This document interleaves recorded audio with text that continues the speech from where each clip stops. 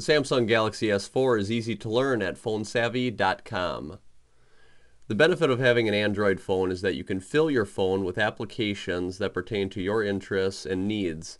Your Galaxy S4 comes with a bunch of applications which are basically just software programs that serve a specific function.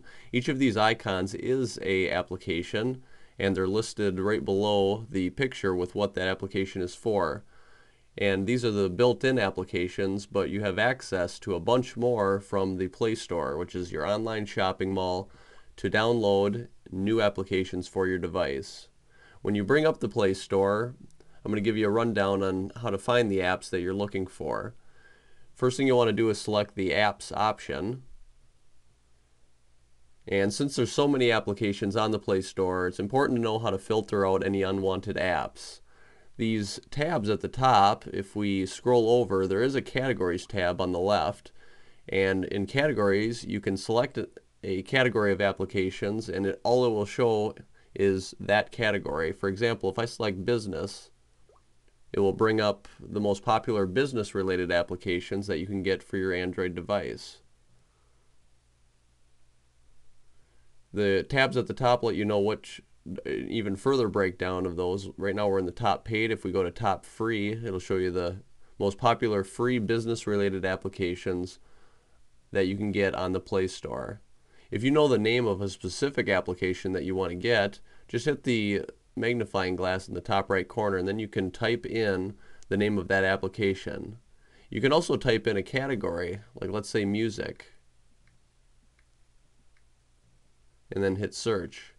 It will bring up the top applications that have that keyword, which is music. And if you find an application that you're interested in, just go ahead and select it, for example Pandora, and what it will show you now is some screenshots of what the application will look like on your phone.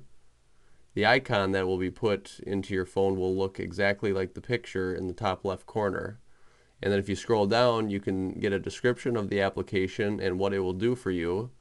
You will also get reviews from users that have this application, and it gives each app a star system out of five stars, this is four and a half. So this is a great, highly rated application by users. If you like what you see and you want to download this app to your phone and have a new icon in your apps list, just hit the install button in the top right corner and then hit accept. The application will begin downloading and after it downloads it will install automatically and it will let you know in your notification panel when it's complete. So now if we go home and bring up our full apps list, we will see a new application in our full apps list called Pandora.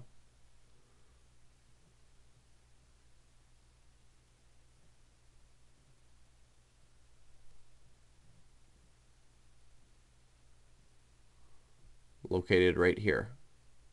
So you can begin using that application. To learn more about your Galaxy S4, visit phonesavvy.com.